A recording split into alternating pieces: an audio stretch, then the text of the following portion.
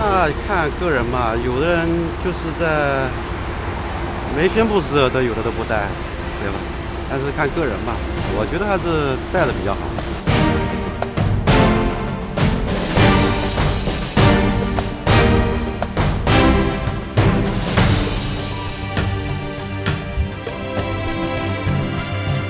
我看在公共场合下还是人多的时候，我觉得还是得戴口罩吧，觉得有有安全感。